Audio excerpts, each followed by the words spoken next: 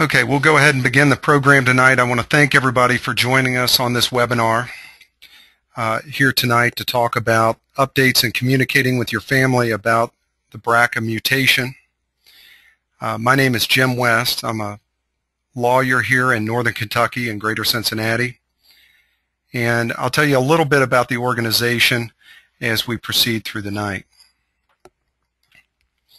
The agenda for tonight's program is, like I said, I'll talk a little bit about the organization, Check Your Genes, and then we have two genetic counselors that will be presenting about communicating BRCA results, BRCA1 and 2 results uh, to the family members. Uh, the first presenter is Sara Knapke. She's a certified genetic counselor at Cincinnati Children's Hospital Medical Center, and she'll be talking about communicating BRCA1 and 2 results um, as part of the program. The second presenter is Kristin Theobald. She's also a certified genetic counselor here at St. Elizabeth Healthcare in Northern Kentucky. And she'll be talking about the new and exciting family history notification tool that Check Your Genes recently added to its website. Uh, it's a process in which family members, it's a process in which people who have been uh, diagnosed with this genetic mutation can seamlessly notify family members of the results and provide them accurate medical information on what to do with those results. Uh, at the end of the program, we'll reserve some time for questions and answers. And along the way, if you have any questions, there should be a chat box on your screen. Just type in your question in the chat box. We'll try to answer, answer it as we go through the program tonight. But if we don't get to that question, uh, we'll certainly address it in the question and answer segment at the end of the program. Why we're here. Let me provide you a little bit of, about the history of Check Your Genes. Check Your Genes um, was formed after my sister was diagnosed with ovarian cancer in 2001. And I need to take you a little bit back in our family so you can get that diagnosis of ovarian cancer in context. My mom died of breast cancer at the age of 49. Her sister, my aunt, died of breast cancer in her 40s. My sister and I, Nancy's seen in this picture, we knew breast cancer ran in our family, but we didn't know what to do with that information. We didn't know about genetic testing. So when she was diagnosed with ovarian cancer and the doctor found out that our mom and our aunt had both died of breast cancer. The doctor said, you probably have the BRCA gene. You should, have you been tested? My sister said, what test? It was at that point that we realized there was a communication problem. There was a problem with getting accurate information out to the public and encouraging those families that have that family history to go and seek genetic counseling and get this life-saving genetic test. So we began working with the genetic counselors at our local hospitals, Cincinnati Children's Hospital and St. Elizabeth Healthcare, to figure out what we could do as a small grassroots nonprofit organization to try to educate the public on this life-saving test. And what we did was we thought we could do that the best through getting the word out directly to the public. Similar to what drug companies do with their advertisements that you see on the nightly news every night. They ask you if you have a history of some disease. So we thought we'd ask the public, does breast or, or ovarian cancer run in your family? If it does, then you need to get this test. You need to go to a genetic counselor and seek out medical advice because you're at a you could potentially be at a significantly increased risk for developing breast and ovarian cancer. So that's why we formed this local nonprofit organization. And we found the most effective and cost-effective way of getting the word out was through the internet. So our website, we had a website developed and we partnered with St. Elizabeth Healthcare and Cincinnati Children's Hospital. We put genetic counselors on our board of directors, And we wanted to do that so we would have accurate medical information going on our website. Our website is tops whenever you search for BRCA. Uh, if you search for genetic uh, breast cancer or ovarian cancer, our website pops up and it's accurate medical information. So that's the history. So after my sister was diagnosed, she wanted to make sure that this wouldn't happen to anybody else. She wanted to try to save lives, and that's why we formed the organization. Unfortunately, my sister lost her battle to cancer at the age of 40. She died in 2009. However, the board of directors and our local organization and our connections at the hospitals decided this was an important cause, something that we needed to keep going even though my sister had died. So we agreed to keep the organization open and active, and we're still to this day trying to ask people out there in the public, does breast or, or ovarian cancer run in your family? If so, it's important for you to get tested. So what we've been doing recently is trying to identify uh, people who need to need to have this information. And one of the groups that we figured out pretty early on needed to have this information would be family members of people who have tested positive for this genetic change. We think there's a real disconnect between a family member getting tested and that family member notifying the other potentially affected family members of their diagnosis. So we wanted to make it seamless. We wanted to make it easy.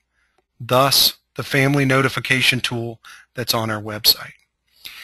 So, educating the public will save lives, and that's what we're all about. There's the mission, to educate the public and healthcare professionals on the need for a formal genetic risk assessment and testing if an individual has a family history of breast and ovarian cancer.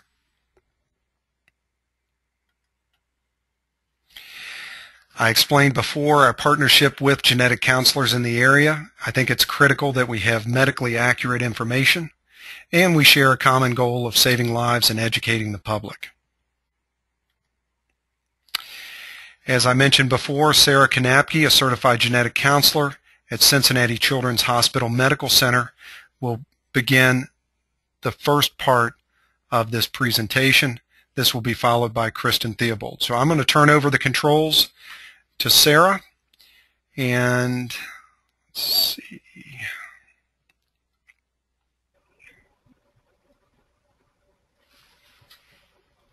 Thank you, Jim. I appreciate it.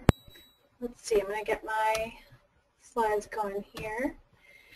I'm happy to uh, be here and to be partnering with Check Your Genes. It's been a real pleasure to work with an organization that feels so passionate about things that we talk with patients about on a daily basis. So we really appreciate them, um, uh, you know, just allowing us to be a part of the exciting things that Check Your Genes is doing. So I thought we'd spend some time today talking about um, making sure that you have or feel armed with information if you're someone who has tested positive for a BRCA mutation, feel armed with information to be able to communicate effectively with your family members. So um, we'll start first by, you know, talking about what happens after a BRCA positive test. And, you know, some people are um, working with a genetic counselor through this process, and I hope that the genetic counselor in those situations has given you the resources you need to feel comfortable and armed with this um, task of uh, talking with family members um, and with also moving forward with your own medical management. Um, but you know, others may not be working specifically with a genetic specialist. They may have a very knowledgeable healthcare provider. Others may need to seek out a genetic specialist or other very knowledgeable healthcare provider to help them through this process. So after someone uh, has a positive BRCA one or two genetic test, it's certainly information. You know, a lot of times people are coming in for the testing because they know that it will impact other adults in their family. Um, but we know for sure that it also has impact on the care for that particular patient in a lot of cases. It may not, um, but in a lot of cases it may. So some of the things that the individual as well as their healthcare, excuse me, as well as their relatives may be interested in learning about are what are the options, for instance, for um, increased surveillance, um, for lifestyle changes that may help to modify the risk associated with these gene mutations. Um, are there options for prevention and all uh, through surgery or through medication. And so we'll talk a bit about each of these things um, so that you feel like you have uh, the most up-to-date information about it. Like I said, I think it's preferable, I'm a bit biased because I am a genetic counselor, but I think it's preferable certainly um, if you can work with a, a genetic specialist, a, a, certified or licensed genetic counselor. Um, and I think that can help um, enhance your assessment as well as um, provide you with great resources for your family. First of all, a certified genetic counselor looks at family histories every day um, to try to identify the patterns that will help us know whether someone is at increased risk for hereditary breast and ovarian cancer syndrome or BRCA mutations, or whether there's a different hereditary cancer syndrome that may be at play. Or a genetic counselor may also be able to provide an individual with reassurance about a family history if the risk is not high for there being a hereditary cause in the family for the cancers. Um, certainly a genetic counselor can walk through the unique variations in testing that's available and the uh, up-to-date, as I mentioned, management options for hereditary cancer risk. Um, there uh, are a variety of tests, a variety of methods for doing the testing um, that can be important. Um, the testing has also been updated over time, so it's important to make sure if someone's had testing that it's the appropriate test in that person or family. Also can um, discuss the utilization of the genetic testing and actual management for the oncology conditions, particularly for that patient, for instance, and how it may impact their care right away. Um, and again, um, I think genetic counselors are sort of uniquely poised to provide you with information uh, to share with your family and how it may impact the whole family. Key, key concepts to communication in this setting, certainly I think it's helpful to um, develop a plan for sharing your results. You feel really prepared um, before you uh, take this information to your family. You may be the first in your family to be tested and really be um, sort of uh, tasked with sharing this information with all those who may be at risk. Um, and that may feel like a burden, but we're hoping that after today you feel like you, um, you know, can really use that information to um, use this information to feel empowered to share all this with your family members. So I think it's, you know, important to, you know, some people say, well, I'm really not in contact with that relative. I really, uh, we don't get along well. There's been a, you know, rift in the family, that kind of thing. And I think we always encourage patients to think about the importance of how life-saving this information could be to people in the family, um, and that from an ethical perspective, we really encourage uh, patients to share the information with all those who can be impacted. Um, it is important, though, for those who um, uh, are within a family to respect one another's decisions about when or when not to be tested. Um, someone may not be as ready for the information as others were in the family. And also to anticipate some potential changes, even temporary or permanent, with regard to the family dynamics. So um, those who, uh, you know, a negative test is not always um, a very um, positive experience for someone in the family. People may have survivor guilt if they're one of you know, some of the people in the family who didn't inherit this risk as they've watched other people in the family go through the burden of cancer, if they're sort of off the hook um, with regard to risk, it, it, may, it may cause some feelings of guilt. Also, feelings of guilt of passing this on to family members um, can be an issue. And then uh, certainly it can just, again, change family relationships. Um, you know, people may start, um, you know, just feeling differently. This is not just a medical issue, but it's an emotional issue as well.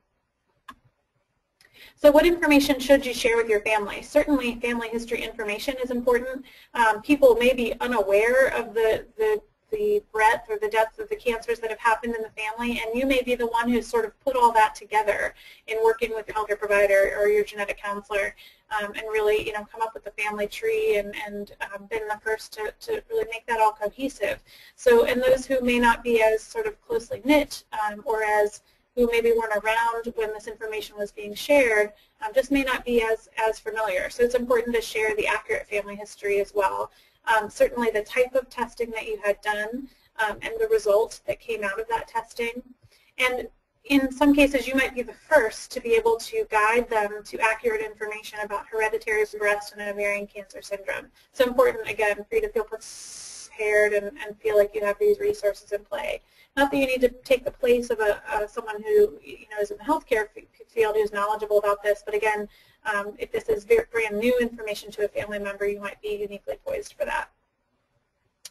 So um, certainly I think sharing the risk information in the family, so um, if, if they uh, you know, haven't had cancer themselves or their parent hasn't had cancer, they may not be aware that this can um, be something that people have but who haven't had cancer, um, even if, uh, you know, maybe they still are at risk.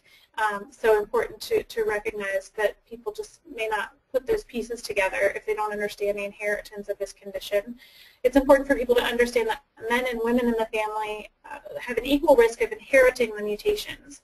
So, you know, if your mother has a mutation, even if your father has a mutation, each of their children has a 50-50 risk, no matter whether it came from a man or woman. And men can also pass this along to their daughters um, as well as their sons. It's just that the cancer risks are significantly different for men and women, and we'll talk a bit about those details in a moment. And as we just talked about, women can inherit this condition from their father's side of the family. We've heard numerous stories in the past about, you know, women who've gone to their healthcare providers and said, you know, I'm really concerned about my dad's side of the family um, and healthcare providers in the past, and hopefully we're changing or, uh, you know, working towards uh, greater education about this, but they may have been told in the past that their father's side of the family wasn't as important as their mother's, and that's really not the case, um, especially with a condition like hereditary breast and ovarian cancer syndrome. And again, you know, I think sharing resources may help you to be the first to, to give them some information that may help aid in their decision to test um, and where to be tested.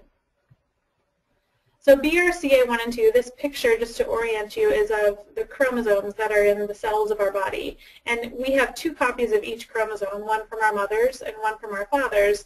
The BRCA chromosomes sit on chromosome 17 for BRCA1 and chromosome 13 for BRCA2. When an individual has hereditary breast and ovarian cancer syndrome, they have a mutation in one copy of either of these genes. It's not common for people to have mutations in both BRCA1 and 2, although that certainly has happened in some families, um, but that's a bit of a more unique situation, and it's very uncommon um, for people to have mutations in both copies of a particular gene. For instance, two mutations in BRCA1, that's um, very, very unlikely. Um, so in general, an individual has a, has a mutation in one copy of either BRCA1 or BRCA2. So just to um, sort of get our language on the same page here, um, we talk about the development of hereditary cancer and how is that different, if it is, from the development of sporadic cancer. And we think a lot in, in cancer genetics about the difference between non-hereditary and hereditary risk for cancer. We know that the vast majority of breast and ovarian cancers are sporadic um, up to about 10%, which is certainly a significant amount of breast and ovarian cancer um, is hereditary. So if we talk about non-hereditary forms, it's really damage that can happen to the cells over time. And both copies of a particular gene um, get damaged or sort of knocked out over time, and that's when a cancer can develop in that particular tissue.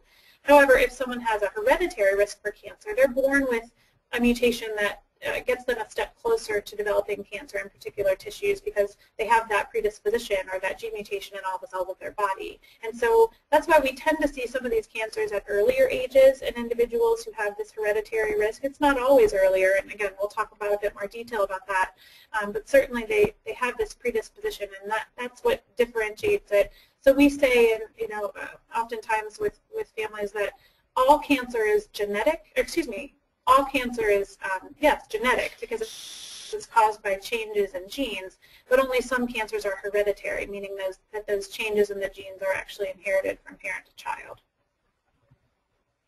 So here's just a rundown, um, just sort of some uh, ranges of numbers of risk that have been um, put in the literature based on what are the risks associated with having a BRCA1 or 2 mutation. So you may have heard these numbers if you've had testing, if you have a mutation. But the risk for developing breast cancer in individuals who have a BRCA mutation, if they're female, is between 50 and 85% over the lifetime. And about half of those occur uh, before age 50 or around the time of menopause. So about half are premenopausal, about half are postmenopausal. So you can see it's not only the early breast cancers. Um, that are seen with this. And then there's also increased risk for second primary breast cancer. So someone can have two breast cancers, um, you know, either in the same breast or in the other breast. Um, and that risk, if, if, you have a BRCA mutation, is between 40 and 60 percent over the lifetime. So some people use that information to decide, for instance, if they have breast cancer, whether or not they might want to have the other breast removed preventatively.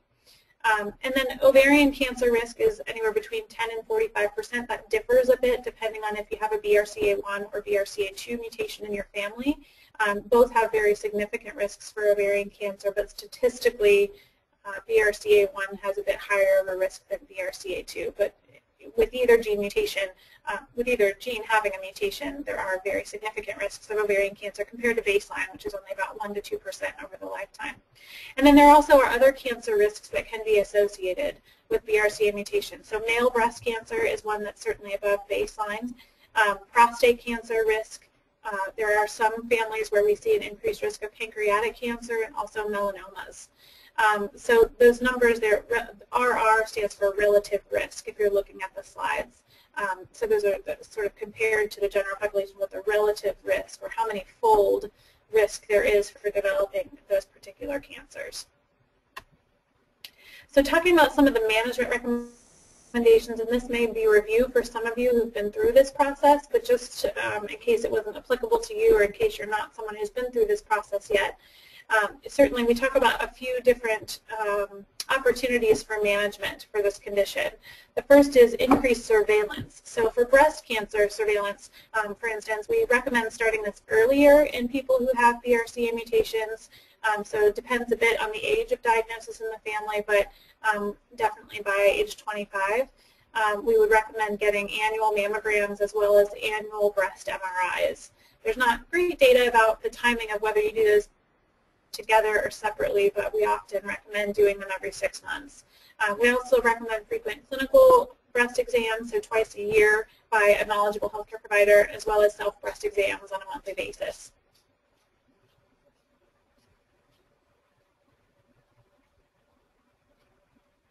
Okay. I just want to make sure you all could still hear me, correct?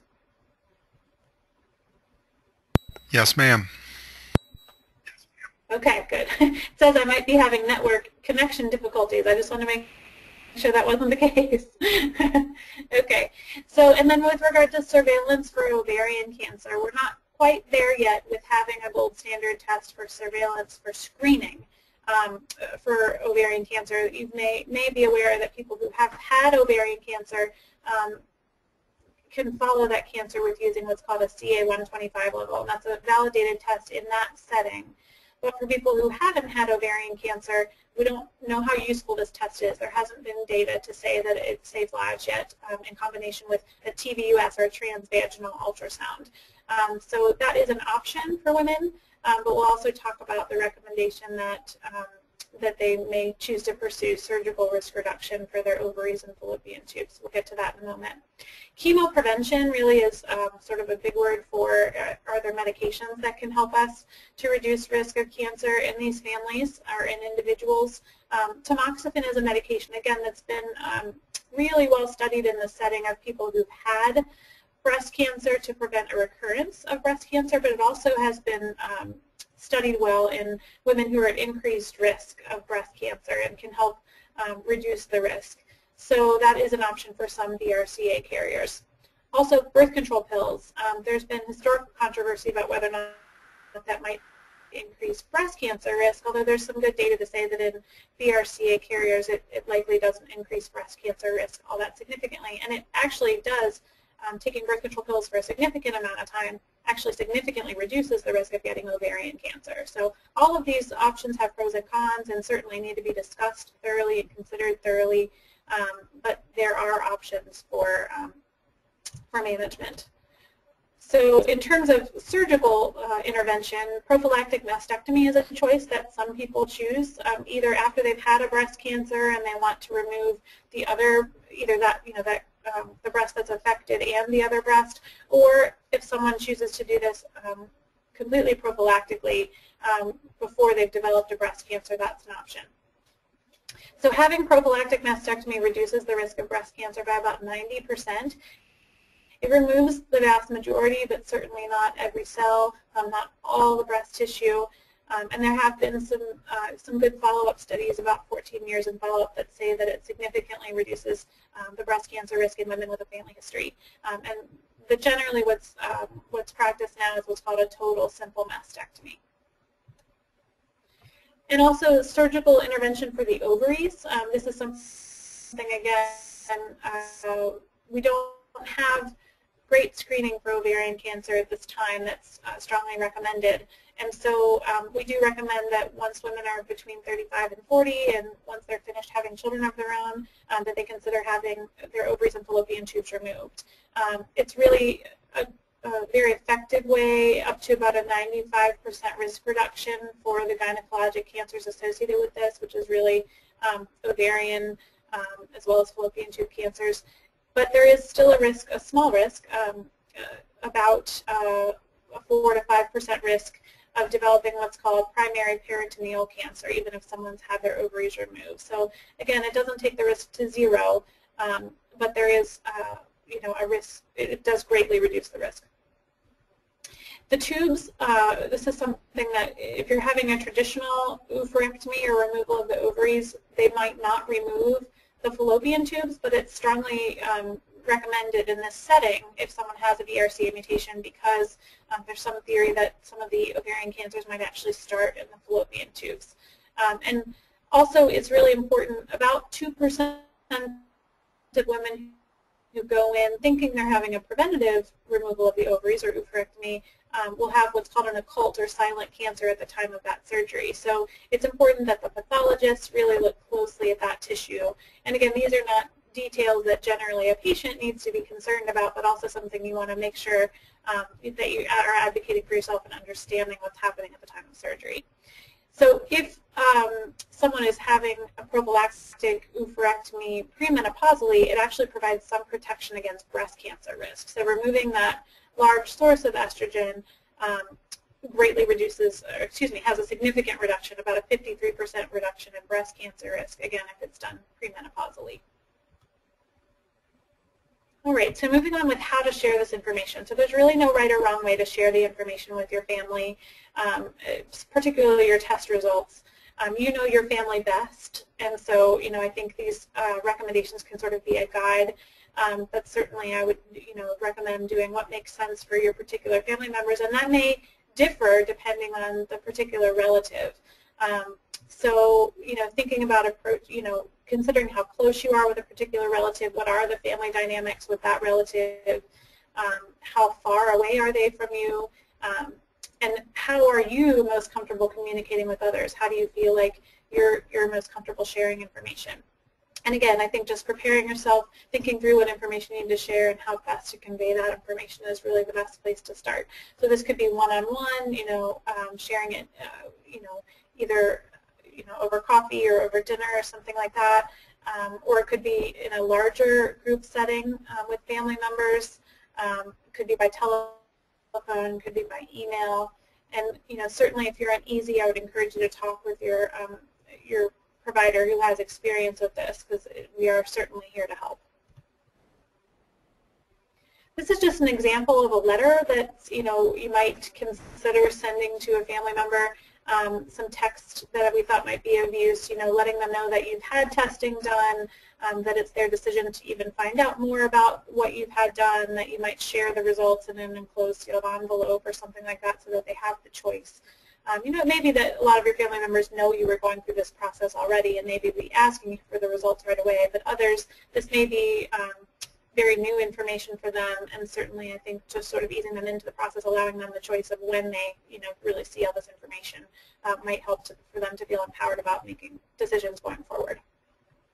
So I'm going to pass it on to Kristin now, who's going to talk more specifically about Check Your Genes and the family notification tool that has been developed.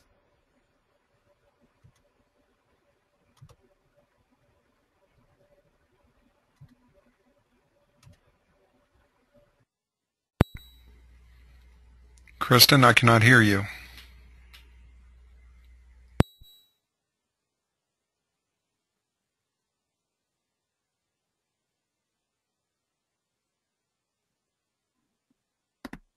Sorry about that. Now, can you hear me? Yes, ma'am. We can hear you now. Okay. All right, moving forward. So I have the honor of having been involved um, with Check Your Genes during the development of the family history notification tool. And really, the main impetus behind developing the family history notification tool was just that as genetics professionals, we knew um, that there were large portions of the time in which patients were having difficulty um, or were feeling very limited in their ability to communicate this information with their family members. Um, we know, you know, that the patients who have the greatest risk of having a BRCA1 or 2 mutation are going to be those that are directly related to individuals with BRCA1 and 2 mutations. As a brand new genetic counselor more than a decade ago, um, probably one of my first patients that, that I ever counseled and tested who came back positive for a BRCA2 mutation, you know, went about her way. She was actually a healthcare professional herself, so she did a really good job of informing her immediate family members. Um, and, you know, a few people from her family got tested. And about four to five years after that, I met another patient, a 26-year-old with a very aggressive triple-negative breast cancer. Um, and it turned out that this individual, my second, the second patient, was about a sixth degree relative to that original patient that I had tested years before. Um, and it wasn't that, you know, there was any error on anyone's part. It's just that sometimes we don't think of how far out our relatives are that we should perhaps be concerned about. Um, and really there was a very direct link between the cancers for these two women and ultimately the 26-year-old did not survive her breast cancer. Um, so this is very important information for us to be able to help families to spread as far as possible hence the Family Notification Service. So the Family Notification Service was originally designed for patients with positive BRCA results. Um, and it's really to kind of help streamline the process for patients. They've obviously just gone through um, the difficult period of time learning that they have a mutation. They're making a lot of management decisions about their own care and now they have this additional burden of needing to notify as many family members possible.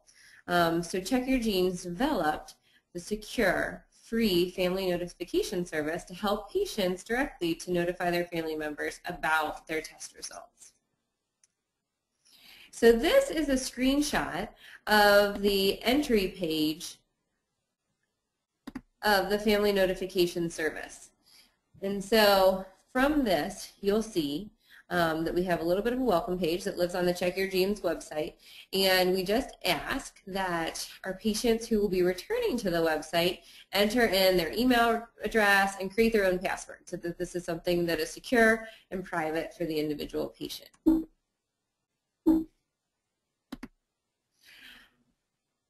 Once you have created your information and login password, it does ask you for a little bit of information about yourself. Um, really, the highest degree um, of privacy kind of location-wise is just your zip code and state. And this is all, as I had mentioned, done completely securely.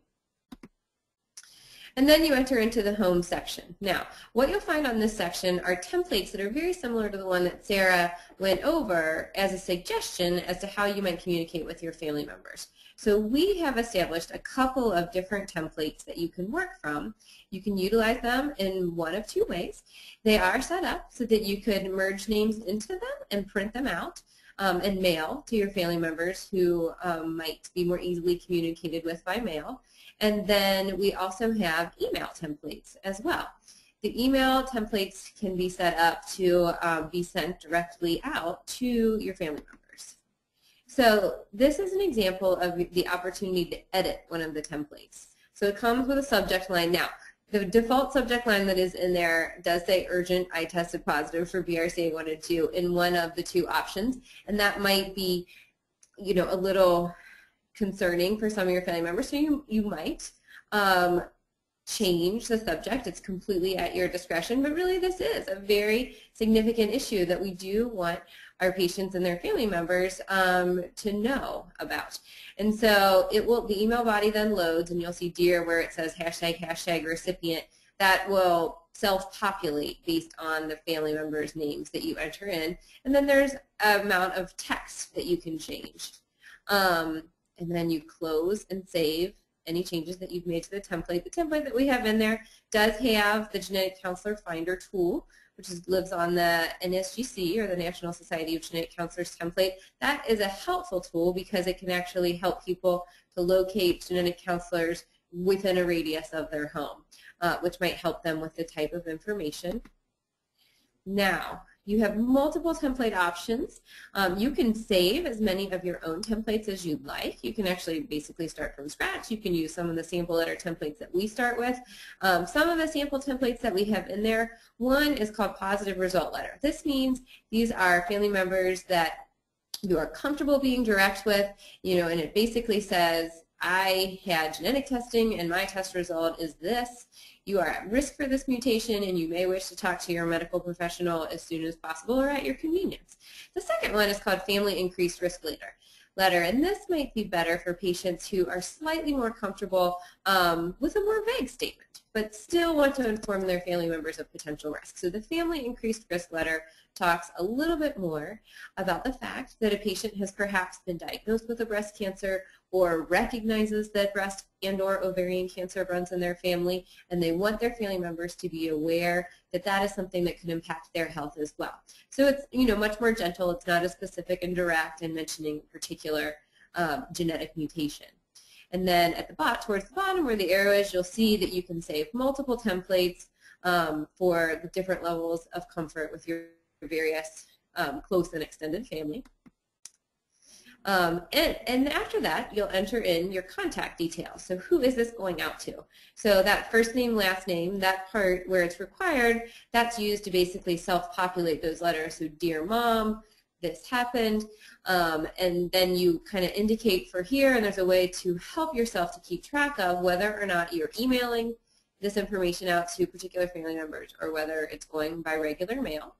So you'll save. Now, if it's going by regular mail, you'll have to print that out yourself. There's not, you know, a magical mechanism by which it arrives at your printer. So you, you would be responsible for the printing and mailing part. But the emailing part, the tool will take care of for you. In addition to some of the functionality we've described, it is also possible to attach a PDF of your test report. So everyone who's having testing at this point in time, your genetic counselor or your healthcare provider who has ordered that test for you, is probably getting your test result one of two ways. Um, most are still actually getting it by, both by fax to their office and then a PDF copy by email or by a secure portal as well. So if you contacted your healthcare provider, um, especially for testing that has been done in 2012, 13, and on, um, we all pretty much have a PDF copy of your result um, that we could certainly very easily make accessible to you. And for genetic counselors who may be watching, moving forward, you know, obviously this is something you can discuss with your patients up front, the availability of the PDF to provide to them that they may wish uh, to readily share with their family members. So you'll go ahead and attach that. And then really it's as simple as just step three buttons, send your emails. Um, so you click send emails and they magically arrive in the inboxes of your family members. So when to share? The sooner the information is shared, the better really a delay in sharing the information can result in the diagnosis of another family member. Um, and the whole goal, the whole goal really of having this type of information is try to, to try to prevent cancer diagnosis. I mean, Jim said it best in the beginning. Really the goal of Check Your Genes is to make people aware so that we can do something about the overall incidence of cancer. And really it's a very personal issue for the families of our patients. Um, and it's just devastating to hear there's another individual who has been diagnosed um, because we hope that with the knowledge and some opportunities for prevention and additional choices um, that cancer can be prevented. We do um, talk with our patients about being mindful that genetic testing is not typically recommended for minors um, and therefore this information is generally to be shared with adult family members. Um, in BRCA 1 and 2, we do often take into account the age of diagnosis of a patient and um, so, you know, for example, that family I mentioned at the beginning, where my second patient was 26. In that family, although we would typically start BRCA 1 and 2 management at about age 25, we started with the other girls in that family between the ages of 16 and 18, or about 10 years younger than their youngest diagnosis. There are genetic conditions, um, particular uh, polyposis uh, cancer, colon cancer syndrome, in which we do test minors and consider some other options. Um, but for a condition like BRCA1 and 2, it's really a concern of adult onset. So we're primarily, primarily talking about your adult family members. After sharing, when you're undergoing the process of sharing the test result, it's important to respect your family members' decisions about testing. Um, we've been running a support group here in Cincinnati for a number of years, and I know that a lot of our um, mothers and and fathers of adult children are often very concerned about the choices that their adult children are making, whether or not to test, the timing of testing. Um, so it's very important for the individual who is going to have the test to be comfortable that this is information that they want to have rather than feel as though they're being rushed into a decision. Um, so we really encourage family members to think through a positive test result um, and a negative test result and what different types of actions they would take with that type of information. We want to give family members time um, to speak with their own medical professionals and help them to become informed. Um, and also, you know, you are sharing this information with them. I think it's important to have a little bit of dialogue too about whether you're open to reciprocity. Is this something that you want to continue to discuss as a family? Um, and then really one of the most important things is it's important not to pressure any family members in decision making one way or the other. There are studies that have looked at surgical decision making and other things that women may do after learning of a diagnosis. Um, and generally, the individuals who feel certain that they want to have a mastectomy tend to be those that are the happiest with their decision to have a mastectomy um, afterwards. And so it's very important for people to be in a place where they're comfortable with the decisions they might make on the basis of a genetic test result. After sharing, there is also um, some report of noticing a potential change in family dynamics. Some family members may become closer uh, than before because of their genetic status. I have a family um, also, though, that I've been working with recently where uh, the mother had passed away from an ovarian cancer, you know, and a number of family members were coming back positive, and I finally got a daughter who came back negative. She had three daughters herself, so this was tremendous news for her nuclear family. And her exact words to me were, it feels kind of crummy. Um, and there is a real phenomenon called survivor guilt where our patients do um, experience guilt about not inheriting the increased risk for cancer when they have tested negative. Um, so there's a lot that goes on in terms of emotions and family dynamics and the psychosocial issues that surround families. Um, so it's important to be prepared for that when you're at a point where you're sharing this critical information. That is about the limitation of what we were going to discuss on the family notification tool. I was going to move quickly into a little bit of other information that comes up fairly often in terms of things that patients wonder about.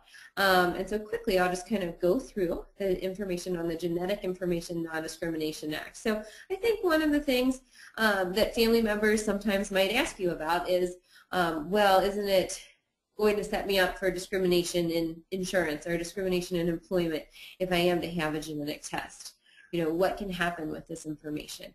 Um, and so HIPAA, which is um, the Health Insurance Portability and Accountability Act um, is a privacy law that's been in account for a number of years, since like 2006 or 2008, um, in which some degree of protection existed. Um, and then GINA was which is the Genetic Information Non-Discrimination Act, really bolstered what HIPAA had said previously. And basically, these laws prohibit the use of genetic information in making um, health insurance or in employment decisions. It really restricts employers um, and other covered entities from requesting, requiring, or purchasing um, genetic information, and it limits the disclosure of genetic information. Um, so it does provide employment protection. They can, an employer cannot use a genetic test result to, um, in consideration of hiring, firing, promotions, wages, benefits. Um, they really cannot request or require that a patient engage in any type of genetic test. And then health insurance, of course. So health insurance, basically the Genetic Information Non-Discrimination Act indicates that a genetic test result cannot be used as a pre-existing condition. It cannot be used to restrict enrollment, to adjust individual premiums, contribution, or coverage on the basis of a genetic test result. Um, the insurance company can't request or require genetic testing. They can't really, you know, there's just basically not opportunity to discriminate against someone on the basis of a genetic test result. Um, sadly, you know, we've had patients over the years who knew that there was a mutation in their family members and had heard the rumors that discrimination is something that can be an issue for individuals and decided not to have testing for that reason. And the saddest thing that can possibly happen is when that individual then is later diagnosed with a cancer because you know, that is something that is obviously very serious for the individual and for all of their family members, and it's really avoidable. Insurance is not something that should be an issue of concern at all. Are there any questions that anyone has? I did see a question earlier. Let me pop that back open. Oh, it looks like somebody wrote an answer to it. Okay, but I'll share it in case anyone else was wondering the same thing. Um, Actually, Chris, I just mentioned that we might, uh, you know, I was going to just let you know I said we uh, touch base about that question at the end, so I didn't answer it yet. But the question really was, um, at what age, let me get back to it here, at what age might um, prophylactic mastectomy be recommended in someone who tests positive for uh, a mutation? I'm just trying to get back to that question, but I think it said a BRCA2 mutation um, if they've tested in their 20s. I didn't know if you wanted to address that or if you'd like for me to. You, want, you can go ahead. That's great. Sure. So there's really no standard recommended age to have prophylactic mastectomies. Um, you know, there's not um, a particular age that's recommended. I think for a lot of people it really depends, you know, on when they're ready to do that in their life. So, you know, some people feel uh, very strongly about, you know, making sure that they um, wait until they've breastfed their children. Some people really feel uncomfortable with waiting because of maybe the ages of onset in their family.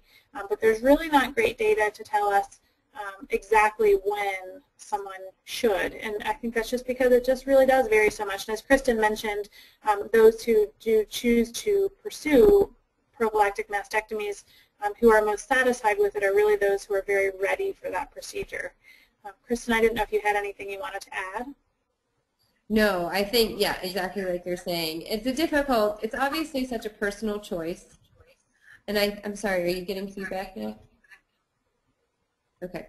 It's such a personal choice and, you know, whereas we do have actually maybe more guidelines about a good time for considering something like a prophylactic oophorectomy or removing the ovaries think we're a little bit more clear with our patients on the fact that, you know, if we if a patient is presenting to us and is diagnosed with a mutation and they are 50 years old, there is not a ton of good for keeping those ovaries at that point in time. We are certainly a little bit more directive because of our ability to diagnose ovarian cancer um, at an early stage, not being quite as good as our ability to diagnose breast cancer at an early stage. Um, and that gives a little bit more leeway in the timing of prophylactic mastectomy if that's something that a patient is considering.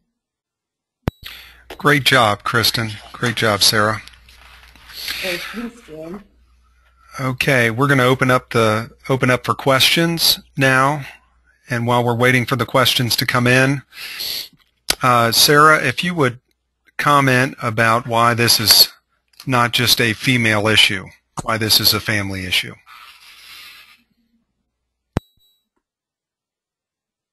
I can't hear you, Sara. Can you, you know what? okay. So there are often questions about,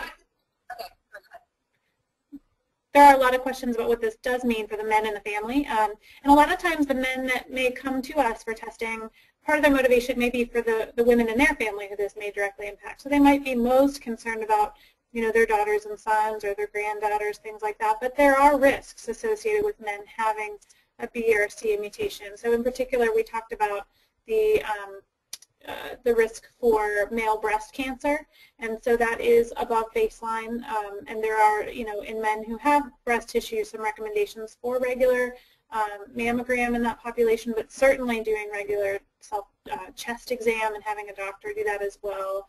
Um, certainly close prostate screening. Um, and then depending on the family history, there may also be a role in men and women for pancreatic um, uh, cancer uh, discussion about whether or not there are methods for screening for pancreatic cancer that might be appropriate in that family. There's no specific recommendation for that at this point, uh, but we are offering uh, that to some families.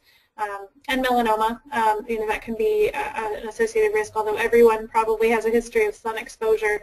Um, those who have BRCA mutations should probably be particularly um, good about sunscreen um, as well as maybe getting regular skin exams. Great. Kristin, would you address, we had a great conversation at our last board meeting about the new testing options and the and for those families that show a family history of breast or ovarian cancer but test negative for the BRCA gene? Sure, absolutely, Jim. This is a population that's been of great concern to us for a number of years we, um, you know, have families in which we are obviously concerned that there is a particular genetic mutation that's putting our patients at risk. Um, yet when we tested them for BRCA1 and 2, originally perhaps we were not able to identify a mutation. So there's really kind of two different categories of an answer to this question. Individuals that were tested for BRCA1 and 2 prior to 2006 may not have had what we consider to be comprehensive uh, complete testing at this point in time. So today we offer a test that includes full sequencing of BRCA1 and BRCA2 as well as deletion, duplication, rearrangement studies. So it's really just two methodologies of looking at the genes um, in two slightly different ways but that provide us with a little bit of a difference in terms of information. So if a family had testing prior to 2006 and has not been evaluated since, they may actually be appropriate and eligible for additional rearrangement studies of BRCA1 and 2. If they had that type of testing and it was complete and was negative, but there are still additional cancers of concern in their family, um, there are a number of other hereditary cancer genes that are involved in the development of breast cancer. So certain families may have breast cancer as a primary feature, but may have additional cancers that we don't really see in BRCA1 and 2. So for example, a family with a lot of breast and thyroid and uterine, we might consider a different condition called Cowden syndrome due to PTEN mutations. Um, in 2013, there was really a rapid expansion of the types of genetic testing that were available and the technology that was used. So there's a newer technology called next generation sequencing, uh, which is able to rapidly look at a number of genes at lower cost than we were previously experiencing. Um, and it looks like this might be answering a question that has popped up, so I'll kind of cover this. And the question is, what is the cost of genetic testing, and is it typically covered by insurance? But Sara, would new, you? I mean, Kristin, would you go back on the webcam? Um, yes. For this sorry. response, thank you. Sure. Am I back on? I'm seeing the questions live. Yes, so you are. You're back on. Okay. Okay. So with the next generation sequencing, what we're now able to offer is BRCA1 and 2 in conjunction with a number of additional genes. So there are multiple gene panels. It really is very specialized testing, so it's very important for a genetics professional or someone who's very familiar with multiple and more rare hereditary cancer syndromes to look at your family history in a great degree of detail to assess what lab and what technology uh, might be best in terms of a panel that might fit the particular pattern of cancer in your family. So there are multiple hereditary cancer gene panels that are now available, many of which include BRCA1 and 2, and many of which cover, cover other hereditary cancer syndromes. So there are families out there that we really haven't touched on tonight that might have, you know, a colon and endometrial uterine cancer syndrome. Um, and we certainly have lots of different testing options available for those families as well. So what is the cost? What is the cost of the test, and is it covered by insurance? Yes. So to answer to that question, um, the cost of genetic testing has really um, decreased rapidly in the past year. Um, we can now get BRCA1 and 2 at a list price of about $2,000, but with multiple labs, the vast majority of patients with private insurance are paying between 0 and $100. So since July of last year, I personally have not had a patient who had an estimated out-of-pocket greater than $100 uh, for BRCA1 and 2 testing and for some of those tests that have the panels on them. Now, with the panel genes, when we're testing for anywhere from 6 to 22 genes, Those tests do get more pricey, more in the three to four thousand dollar list price. Um, but with certain labs and the options that are out there, I would still stand by that even with the panels, the vast majority of patients are experiencing great insurance coverage. Actually, the Affordable Care Act mandates BRCA 1 and 2 testing as one of the 22 preventive services for women that insurance companies are required to provide. So we've had um, great luck with getting this covered. The only caveat to that um, would be federal programs such as Medicare. Medicare has slightly stricter rules um, with requiring that a patient has had a diagnosis. They don't do as much testing for unaffected family members um, for Medicare. However, if we have an unaffected family member who's on Medicare, our primary motivation for testing them is probably that there's already another family member that has a mutation, and so we're really talking about an out-of-pocket expense between one and four hundred dollars. That's not a very expensive test either. So um, it does tend to be covered by insurance. It's actually to some degree required to be covered by insurance, and so coverage is quite good. Great job on that answer. Thanks, Jim. Any other I- I don't see any other questions, and we're closing in on our one-hour allotment. I Um, just had one other comment, if you don't mind, Jim. absolutely, Sara. Absolutely, Sara. I wonder if people might be wondering how to find a genetic counselor, and I know that Check Your Genes has a link to the National Society of Genetic Counselors tool to do that. Um, so if you go to the Check Your Genes website, you can actually uh, link to that, and you can search by zip code or um, uh, you know city or particular specialty for a genetic counselor. And I just I just thought that might be helpful to mention. Absolutely. Well, with that, I think we'll call it a night. I want to thank everybody. I want to thank Sara and Kristin for taking time out of their evening uh, to volunteer and to present at this webinar. I want to thank all the participants and attendees for the webinar for coming out and listening to this medically accurate and life-saving information. And I want you to go out to the community around you and ask the people that you see does breast or ovarian cancer run in your family? And if the answer is yes, encourage them to seek out genetic counseling and to get tested. With that, I want to thank everybody. God bless. Have a great night.